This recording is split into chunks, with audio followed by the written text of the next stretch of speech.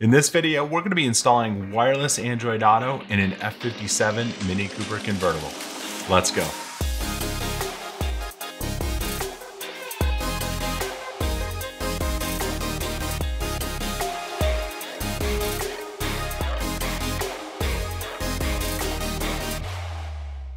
What's up everyone? I'm Steve and you're watching F33. Now if you like this video, give a thumbs up, make sure to subscribe and hit that bell notification so you don't miss when a new video drops. Now I recently acquired a Mini Cooper convertible and the first thing that I noticed was that it only came with Apple CarPlay. Android Auto doesn't seem to be included on any of the minis yet, which is a real bummer because I like my Android phone. Now, I've really enjoyed using the MMI Prime from Bimmertech in the F33, so I headed over to their website to see what they had for the Mini. Now, when I went to their website, I saw that they just released the MMI Pro version. Now, this new MMI Pro has all the same features as the Prime, except that it has an updated interface and it's got an HDMI port on it. Now, what this means is that I can hook up something like a Roku in the glove box and have it connected to the screen in the Mini. And that is pretty cool.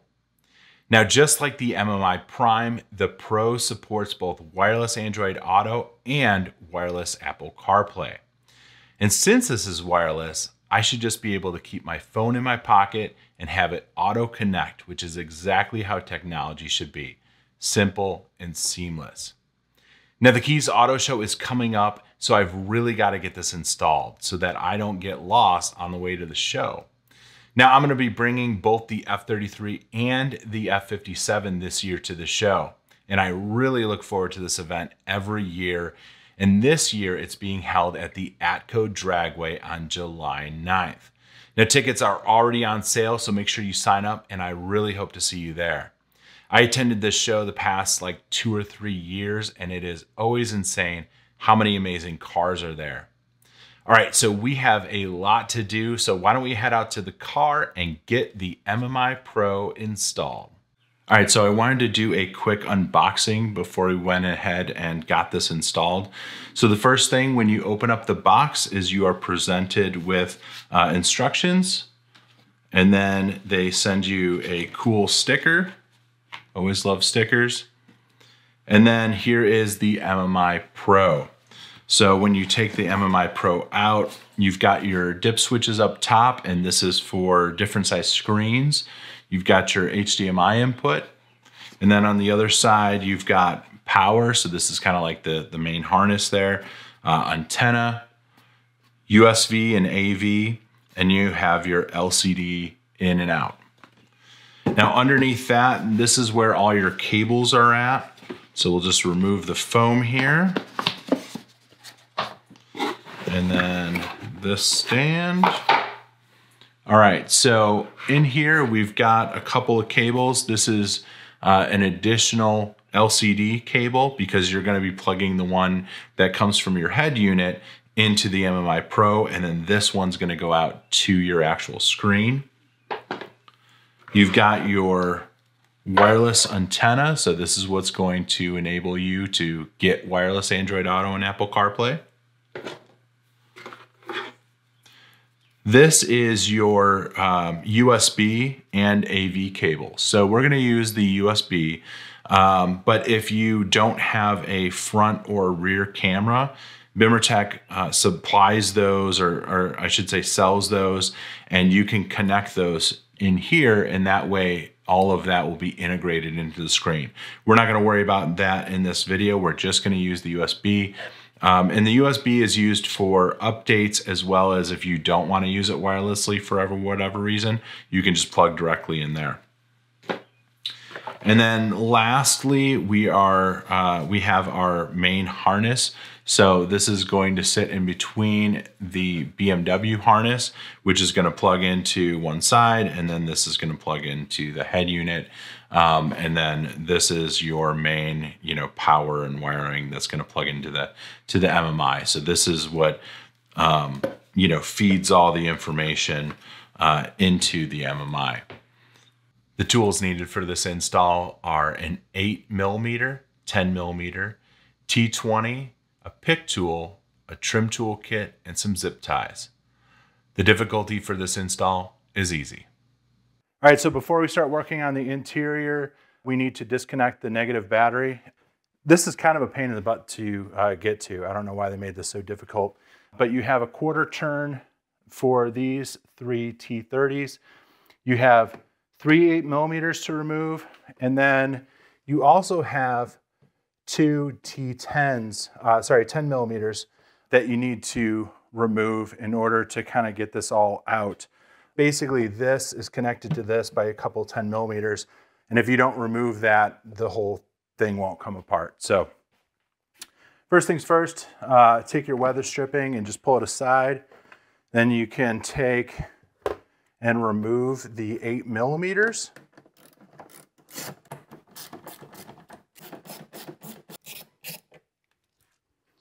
All right, so next thing is you have these uh, 10 millimeters here. So we'll just take and swap over to that.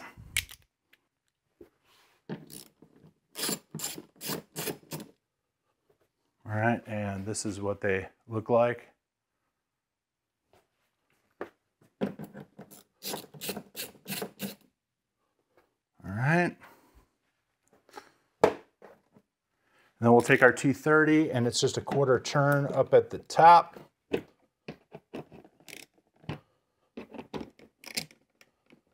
There. All right, and how this is hooked on is over in the corner over there, you've got a tab that's plugged in. Um, and then over here, you have another tab. Uh, it's kind of an open tab that goes around the screw, and that's why you need to uh, remove that. Um, so we'll just take this top piece and pull that off. Here's that tab that I was talking about that's over on the other side.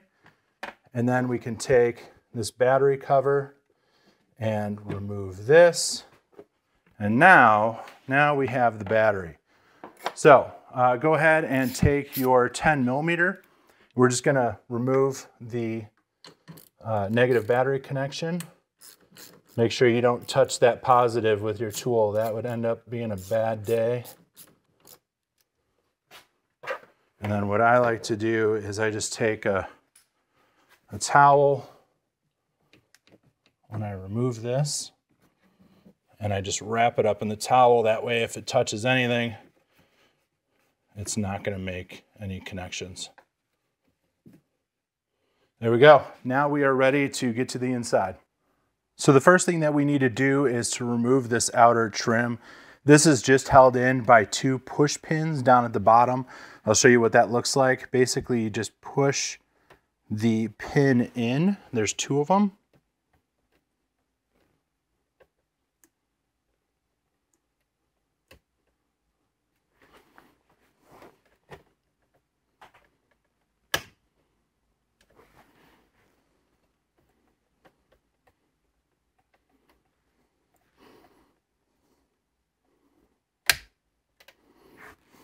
And then you can use a trim tool to remove the push pin. All right, and the way that this works is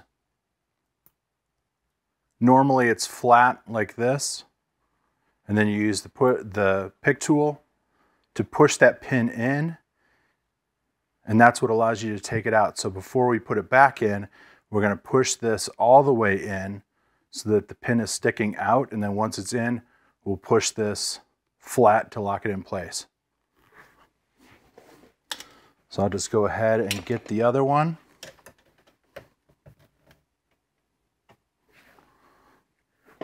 There we go. And then the other thing that we need to do to get this trim off is there is a clip up at the top. So we're going to use a trim tool and we're going to put it underneath this speaker grill. Use a plastic one so that you don't damage anything.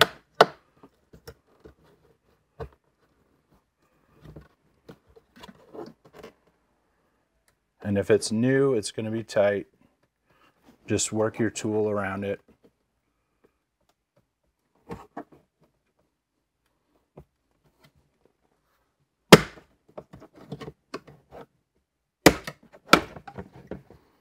All right. So this is what it looks like. There's basically just a bunch of tabs all the way around that hold it in place. All right, so now that we have those two pins out, we will go ahead and remove the trim. So this was super tight, and I'm assuming that it's because it's brand new. Um, but basically, you're gonna wanna lift from the bottom and then from both sides. And when you're doing it, lift up and out, and it'll come out. Um, there's no other screws or tabs or anything like that. But these tabs up at the top just really, really stick in there, and you're gonna think that you're gonna break it.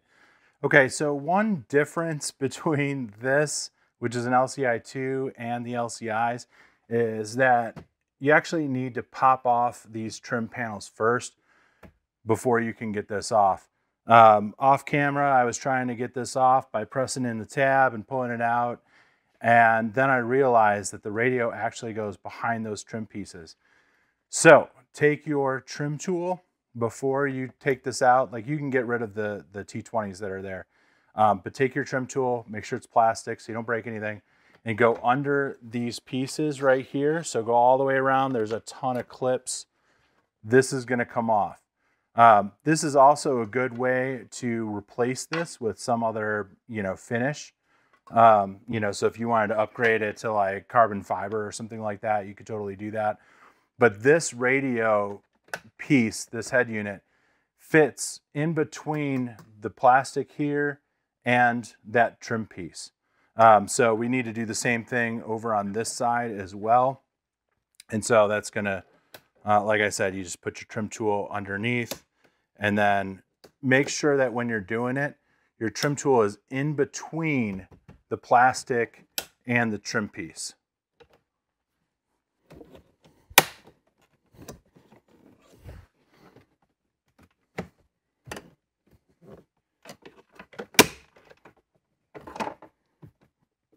All right.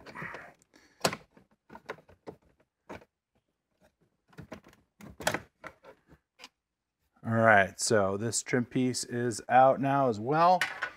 And now, now we can get the radio out. So we're gonna take and put our, something to press that tab in, and we'll just move this a little bit to the side.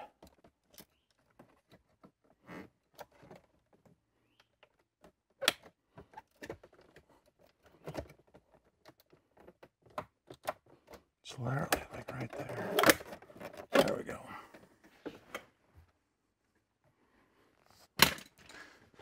All right, so if anyone ever tells you that it's a piece of cake, uh, they're probably lying, or they've had their car for a really long time and it's loose. Um, so here is the tab that we were pressing down from up top. Um, and then these are two clips that also hold it in place. And so that's why you kind of got to wiggle it. So you get these clips out, but this tab is the one that um, is really, really holding it in place. All right. So now we can turn this over. Um, you're just going to remove all the plugs that are in here um, so that we can set this aside. So basically you have this, um, let's see, let's start with the white one over here. This is just a pull out. There's no tabs or anything like that. Um, this one back here, there is a tab on the side. Let me show you that. So this fits in here like this and there's squeeze tabs on the side. And that's how you pull it out. Um, so this one back here, right here, this one has a squeeze tab as well, right up at the top. Then you can pull that out. Uh, the LCD cable here that also has a squeeze tab on it. This one's going to be really tight. Sometimes you need a a trim tool to kind of put some outward pressure on it while you're taking it out.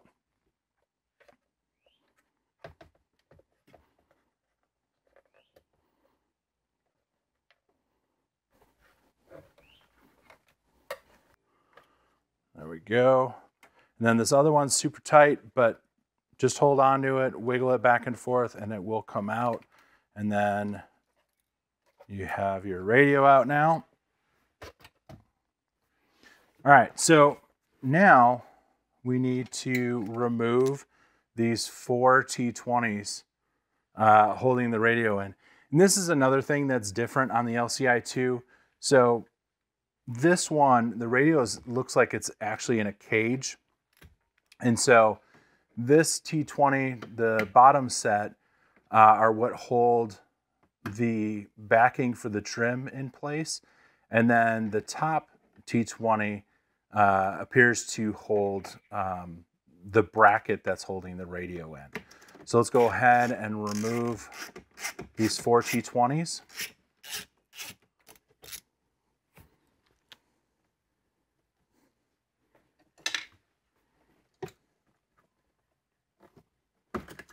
Okay, and you can actually move this out of the way because you'll need to take the radio piece. So I'll just move this out of the way as well.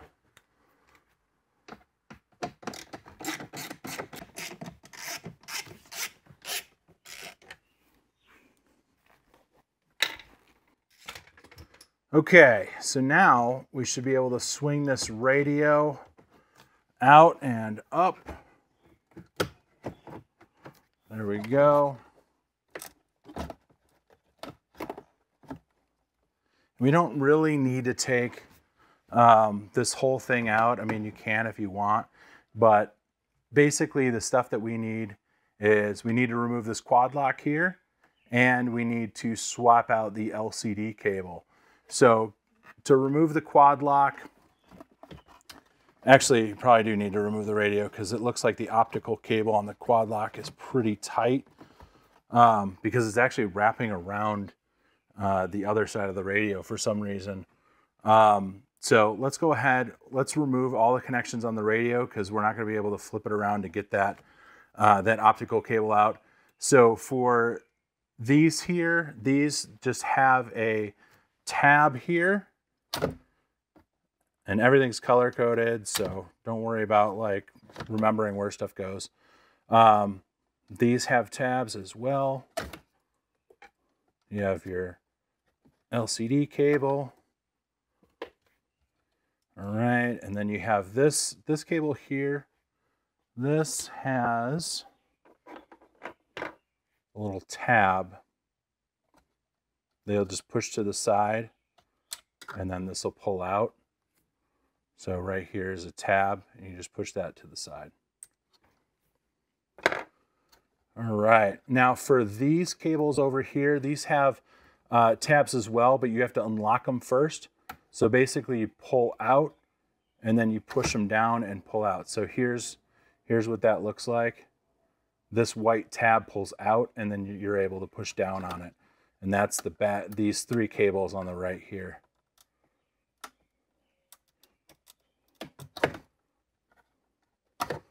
Okay. So for the quad lock, I do not know why they decided to wrap this around like this.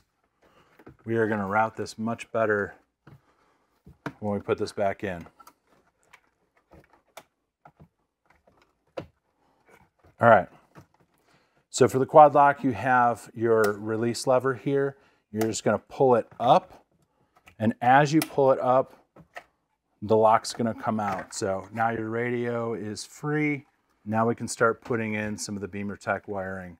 So the first thing that we need to do is we need to transfer this optical cable, it's green and black, over to the BimmerTech harness. So what you'll wanna do is take a pick tool and there is a tab that you'll just press out and then pull the optical cable out. It'll just slide right out. And then you'll take your BimmerTech harness and you will put it in the same slot that you took it out from. It's just going to slide right in.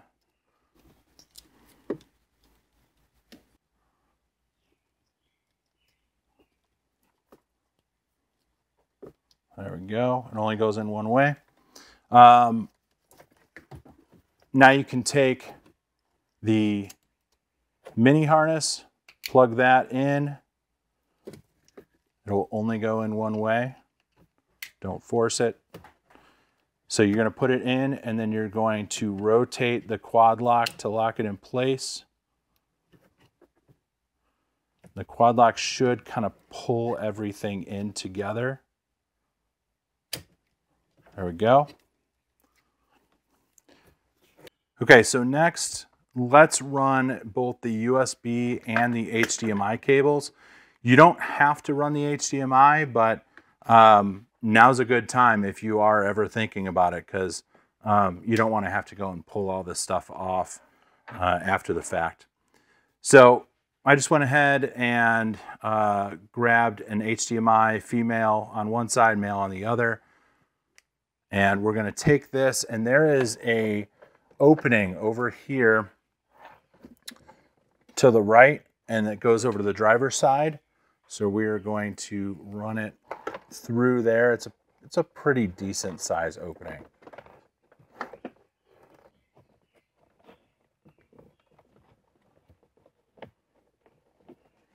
All right, so that is going to come out right under the steering wheel. Um, obviously, we're not going to leave them there like that, um, but we can have them kind of tucked in. I'll probably use some Tesa tape to um, secure them together uh, but we'll push them in under the steering and then ever, if we ever need them, then we can use them and plug in. Um, there's a bunch of different places that you can route this. You can route it all the way down and, and kind of out of the trim. Uh, the glove box is a little tougher because it's air conditioned, um, but you could also run it like out underneath the glove box, kind of whatever, um, you know, wherever you feel like, but there is a pretty generous hole that comes out right underneath here. And honestly, the chances of you needing the USB other than doing an update is pretty low. Um, and then HDMI, um, you know, it depends on how often you're going to use that. Okay, so after I routed the cables underneath the steering wheel, which um, that's what most people do, I thought, why don't we run them into the to the glove box like we did on the F33? Um, so I took the piece off here, the, the rest of the trim piece. It's super easy. There's just a couple clips uh, and a couple plugs to unplug the, um, the lighting that's in there. But on top of the glove box, there are some holes. Uh, now, none of the holes are big enough to fit the cables. So I took a drill and I widened the hole that was there. There's one kind of larger hole towards the front on the left, and that's what I used. Um, I mean, that's up to you whether or not you want to drill in your car. You don't have to. You can run it underneath your glove box and then you're not, you know, modifying the car at all. But I thought it would be super clean to just have them come out of the glove box like this. Um, so that's that's what I did. Um, so now we've got we've got these run. We've got the optical cable and the BimmerTech harness in.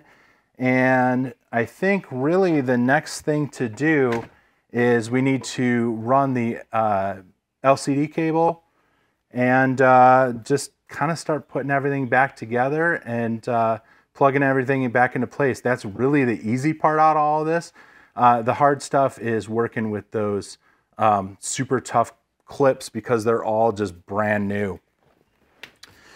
So take your BimmerTech cable and the LCD and we're going to plug that in. So uh, use the right angle cable and that is just going to go in the back of the LCD. Push it in until it clips. All right, and then we can put this aside for right now. Take your MMI Pro and by the way, the installation is exactly the same if you were going to use the Prime or the Pro. You just won't have the HDMI cable uh, for it. So take your uh, HDMI and USB and we'll plug them into the into the Pro. So the HDMI goes in the back and the USB will go right here. And all of this stuff, it only plugs in one way. So you don't really have to worry about plugging it in incorrectly. All right, and then off of the main wiring harness, you'll have this cable here, and this just plugs in to that bigger plug.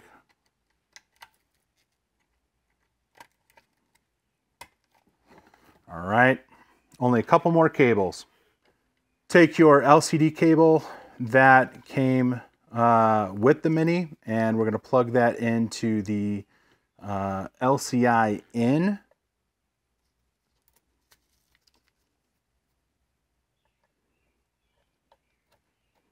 All right, and then we'll take the other LCD cable, the one that's connected to the screen, we're going to go LCI, LCD out. And then the only thing that we have left to plug in is for the antenna. Um, so I was thinking about where I wanted to mount the antenna and I think I want to mount it um, on the outside of the radio. So after we mount the radio, uh, I'm going to mount it to the face. That way there's less kind of interference. So we'll plug in the LC, uh, the antenna cable into the last spot left. And then we'll take all of these cables and just kind of move things out of the way. And this box is going to fit all the way down um, into a cavity that's down here.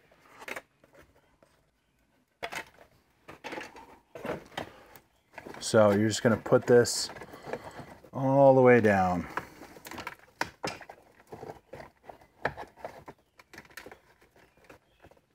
All right, so I was able to fit the MMI box all the way down um, super far. It's totally out of the way. Um, basically, you have some, some ductwork in here, and you'll see a, a split in the ductwork where two pieces connect together and there's a screw. It's actually below that screw there. So it's not gonna be in the way and it doesn't rattle at all. It's in there really, really tight. So next, let's get the radio put together. So you're gonna still wanna run the uh, optical cable um, on the other side of the radio as much as I don't wanna do that. Um, the optical cable is just too short. I, I don't understand why they decided to do it that way. Um, maybe some cost savings, I don't know. But you're gonna put the, the quad lock in and push it down until it stops. And then you'll take this bar, the locking bar, and as you put it down, it's going to sync the connections into place. So now we can take the rest of our connections. We'll start over here on the right-hand side and uh, we'll put the black one in. These will snap and then you'll push the locking tab in so that they lock in place. We'll do the pink one here. All right. And then over on this side, we've got our LCD cable. And this one is the one that is going to the MMI box. All right, and then we've got a white cable here.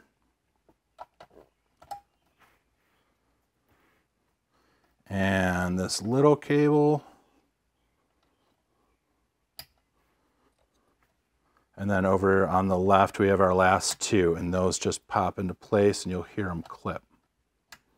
All right, so now we can take our radio and we're just gonna slide it kind of back and then in. All right, and you will see the clips, uh, these side pieces here kind of fit in place. They're gonna go behind the vent. All right, so kind of in between the, the wall of the car and then, and then the vent. There we go, just like that. And then all of these cables can just kind of get pushed, you know, out of the way. There's tons of room in here to do that with. Um, so let's get the radio screwed in here. And again, these are all T20s.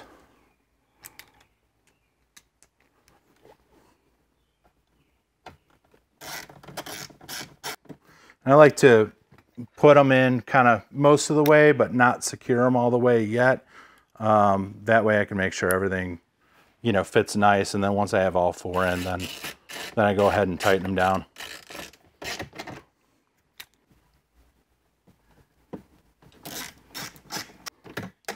All right, we're just make sure that this trim piece is pushed down into all the clips. And then before we totally secure this all in place, let's take this, uh, actually take this LCD cable that's gonna go to the front and let's route this just over to the side here.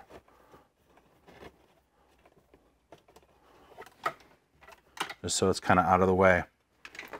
All right, so now you can take your trim panel if you pulled it off and we're just gonna connect these two wires.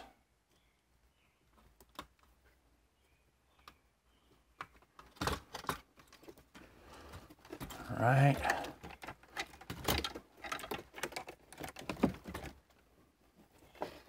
And I'm just gonna run this the same way that these other two are.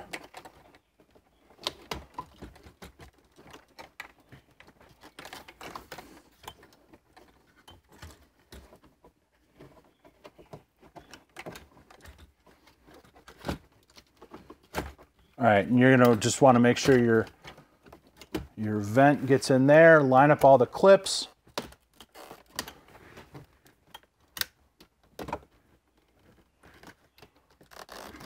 And it should just pop right in place. Don't force it because you don't want to bend your clips.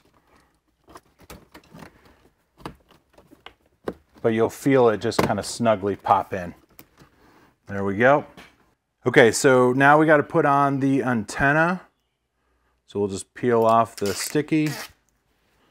And I'm to put this right, right on the stereo. Um, I'm to make sure that I'm not covering up any holes or anything, but it's to stick right there. That way we got a good, nice clean signal, nothing blocking. And then we'll just push these cables down and out of the way. That way we got enough room for the screen. And then if you want to, you can zip tie all these up. I'm just going to use the twist ties here.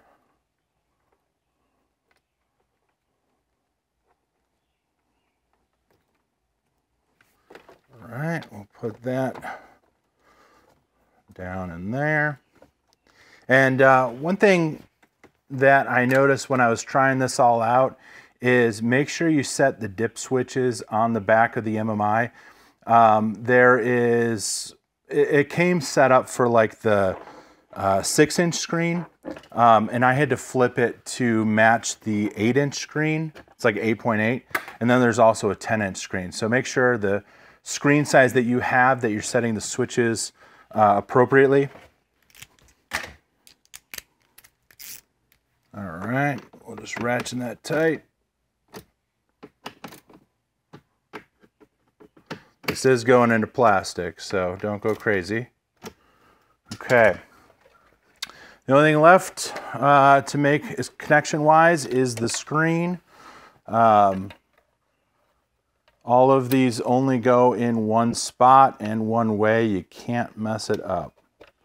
Even these black and white cables here, um, they don't, like you can only fit them in where they're supposed to go. So just plug all those in. Don't forget your LCD cable.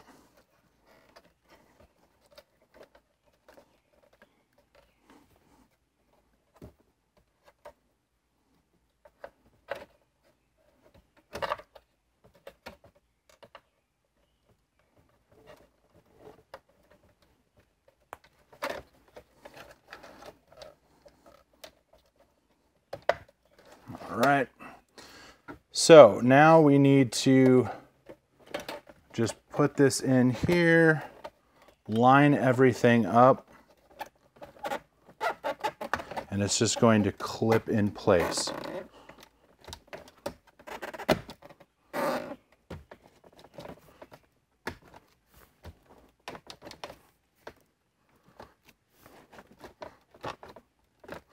Nice even pressure everywhere.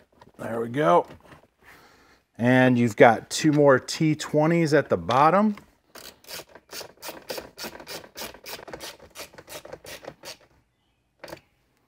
All right.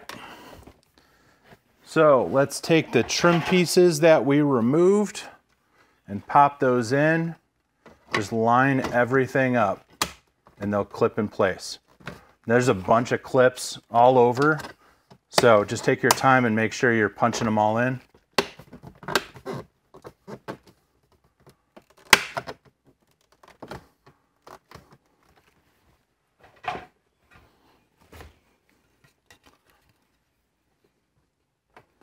This uh, one behind the screen's a little tight. You just kind of have to tilt it.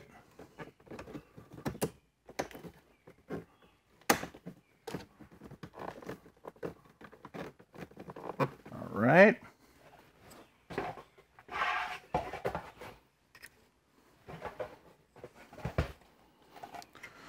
All right, so we've got two more trim pieces. We will take, let's take this one here. Um, the way you can tell up, down, left, right is there's a big divot here at the bottom and then you have your two punch pins, your push pins there. So just line it up.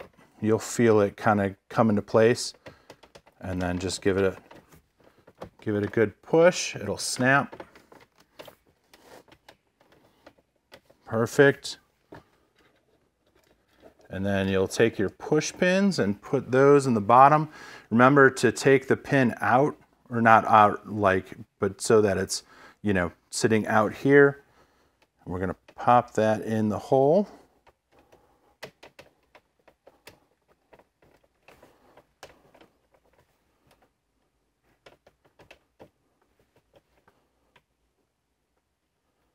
All right, and then we'll do the other one. Perfect. Okay, and the last piece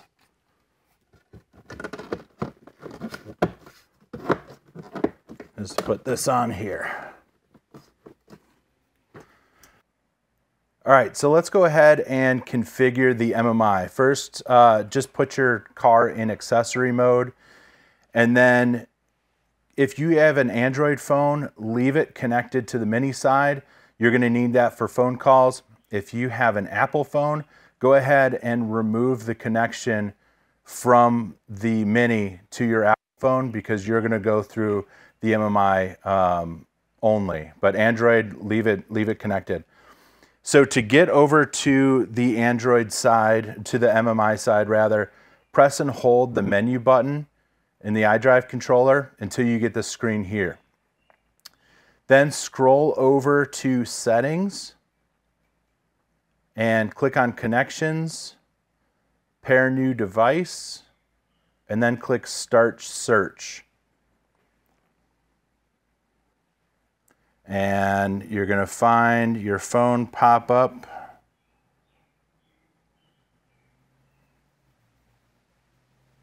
There we go. There's my phone. Um, and then once you click your phone, you'll get hands-free profile. Click again and then you'll see something pop up on your phone to accept the pair and just go ahead and do that. All right, so as soon as it's done pairing, you'll see the screen flip and you are in Android Auto. Um, now, one thing to note with Android Auto is the touchscreen itself is not going to work um, on this side of the car. Now, if you flip back by again pressing and holding on the menu button, the touchscreen will totally work. It just does not work on the Android Auto side or Apple CarPlay side. Um, but you can still use the wheel controls and you can use your iDrive controller to control everything on the screen. Um, now, before, before we say we're done, we need to go into the mini side and actually um, increase the volume for the aux, uh, the aux port. So go ahead and press and hold menu and you'll be uh, back in the mini side. And then go to, uh, let's see, I gotta remember where this is at.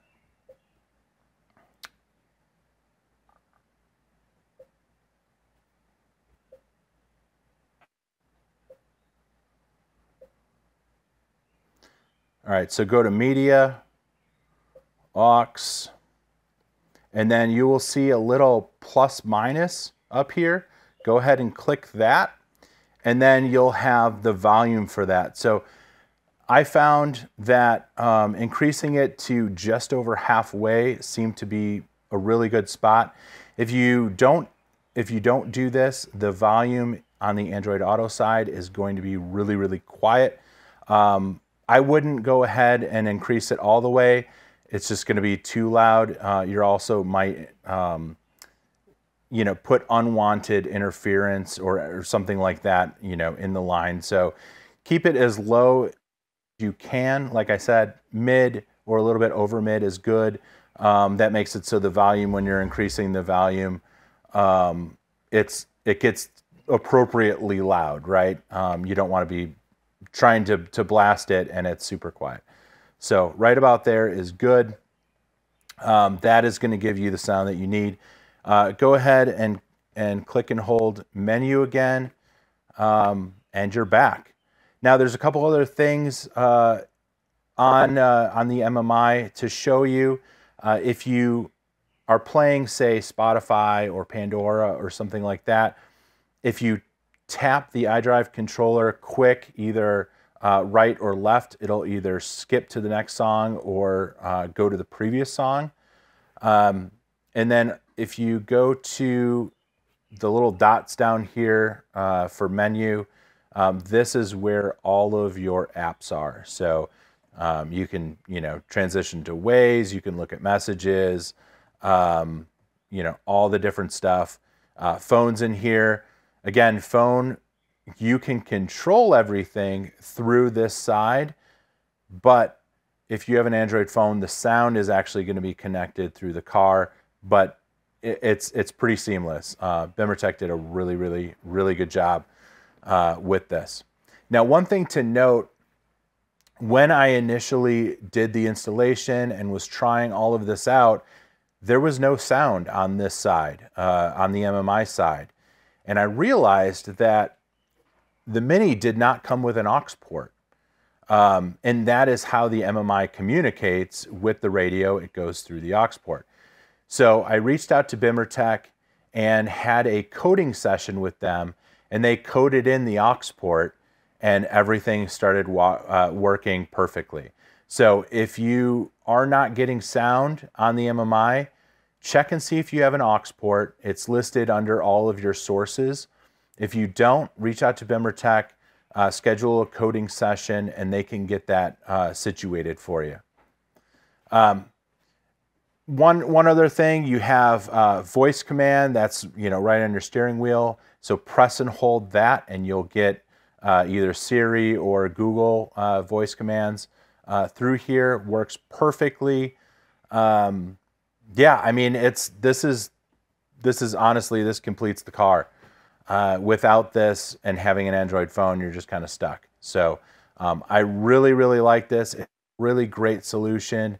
Um, and I love that it's plug and play. So you, you know, if you sell the car, you can take it all out, transition it to your next car or what have you, and you know, you put the car back to, to the way it was stock. Um, there's no, you know, permanent modifications to the car, unless of course you do glove box modification. Um, so that's that's it. Now, as you saw, installing the MMI Pro is really easy and should only take you about an hour or so to install. I love that it's plug and play and it really completes the F57 in regards to technology. The wireless connection is a killer feature for me and probably my favorite feature so far. Now, this was just an install video, but I'm to put out a full review once I've had a chance to play around with it a bit. Now, as always, I have put links in the description below to all the tools and products needed for this install. And if you found this video helpful, be sure to hit that like button, smash it if that's what you're into, subscribe if you're not already, and I'll see you on the next one. God bless.